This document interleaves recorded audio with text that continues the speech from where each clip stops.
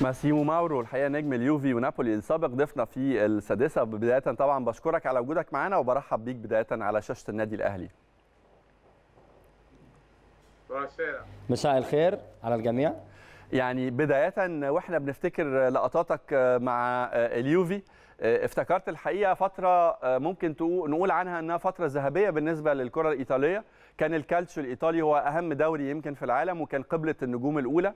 كانت الأندية الإيطالية حاضرة دايما في المنافسات الأوروبية ومرشحة دايما لتحقيق الألقاب وكان أيضا المنتخب الإيطالي مرشح لتحقيق لقب أي بطولة. إيه اللي حصل للكرة الإيطالية في السنوات العشرة الأخيرة؟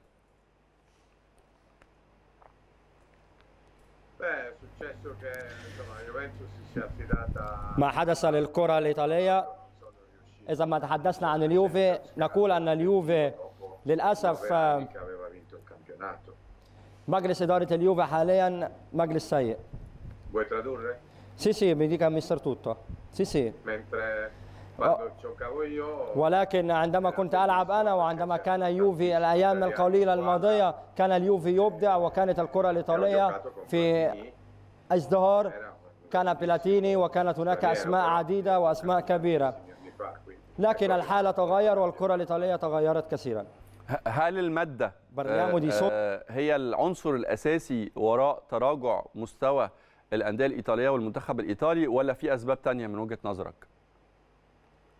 è un problema di soldi, è un problema che è cambiato il sistema calcio. للأسف آه، المشكلة ليست في المادة وليست في الأموال وليست في الاقتصاد لأن إذا ما تحدثنا عن أندية كبيرة مثل اليوفي والإنتر لكن الشخصية شخصية اللاعب الإيطالي اختلفت وروح اللاعب الإيطالي آه، اختلفت الآن. بعض اللاعبين أصبحوا يهتمون بال marketing أكثر من الكرة ووكلاء اللاعبين أيضا.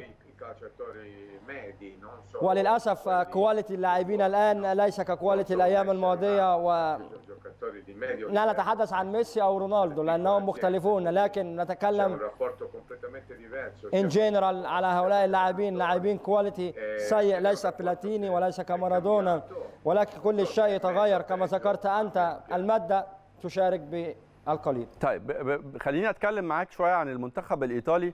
هل بتشوف إنه القرعة ظلمت ال- المنتخب الإيطالي سواء في ملحق تصفيات كأس العالم بوقوعه في م- م- مجموعة واحدة في مواجهة منتخب البرتغال وهو بالتأكيد منتخب قوي؟ ونفس الأمر حدث كمان في بطولة دوري الأمم الأوروبية. القرعة وقعت منتخب إيطاليا في مواجهة اثنين من الكبار منتخب ألمانيا وإنجلترا. هل النتيجة دي ممكن تضعف فرص المنتخب الإيطالي سواء في ال- التأهل في آه، بطولة آه، كأس العالم أو التأهل في دوري